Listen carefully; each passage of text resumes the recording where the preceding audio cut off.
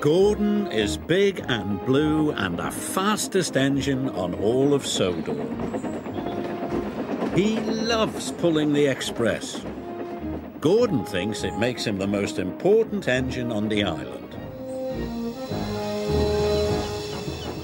One day, Gordon was pulling the express out of Brendam docks. But Diesel was on the same line. Out of my way, sniffed Gordon. Express train coming through. Diesel had to back off. This made him cross. You steamies are old and clapped out, he sneered. When the Fat Controller realizes this, you'll all be scrapped. Scrapped? scoffed Gordon. Pah! I'm as fast as I ever was.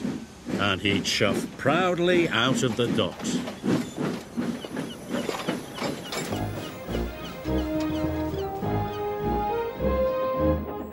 Gordon was speeding through the beautiful countryside. He was having a wonderful day. But then he heard a horrible squeaking noise. Gordon was upset. Squeaking could only mean one thing. Something was wrong. What if Diesel's right? He thought. What if the Fat Controller scraps me?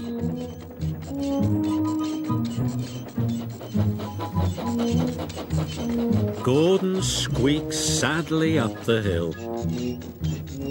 The hill was steep and Gordon had to slow down. The slower he went, the quieter the squeak became. Gordon was delighted. Aha, he said. If I go slowly, no one will hear me squeak. And he chuffed slowly back to Tidmouth sheds.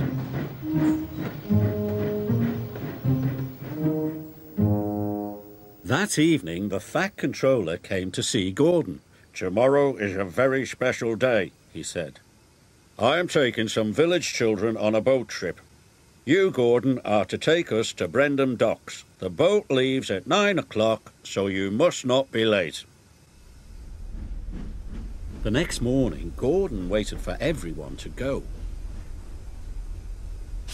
Then he puffed slowly away so no one would hear his squeak.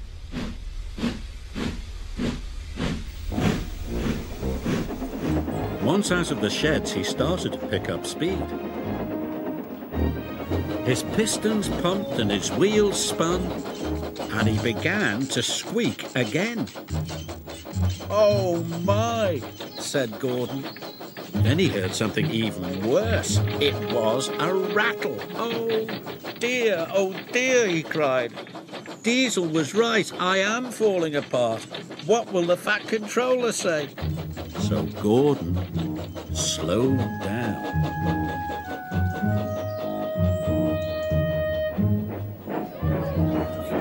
Gordon crawled slowly into the station to collect the children. Gordon's boiler sank.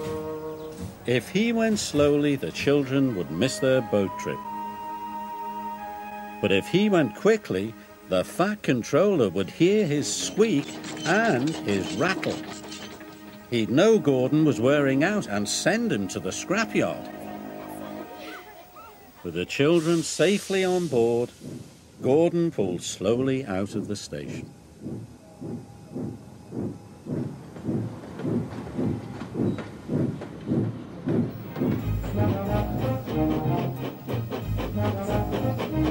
Gordon chuffed slowly through the countryside. He thought things were going well. But the Fat Controller was very cross. He spoke sternly to Gordon. What are you playing at, Gordon? he boomed. You must go quickly or the children will miss the boat, and that will never do. Yes, sir, said Gordon sadly. Remember, added the Fat Controller, you are the fastest engine on the island. This made Gordon feel proud. This might be my last trip, he said, but I'll get the children to their boat on time. His wheels turned faster, his pistons pumped harder. must be on time, must be on time, he puffed. Soon he began to squeak and rattle too. Then he heard another noise. A knocking noise. But Gordon didn't care. If this was his last trip, he was going to go as fast as he possibly could. Gordon squeaked and rattled and knocked all the way to Brendam Docks. Salty and Henry were surprised. They had never heard an engine make such awful noises. Sounds like another steamy ready for the scrapyard, sneered Diesel. But Gordon didn't care about Diesel. He had made good time and the children would catch their boat. I made it, he cried proudly. Thank you, Gordon, shouted the children happily.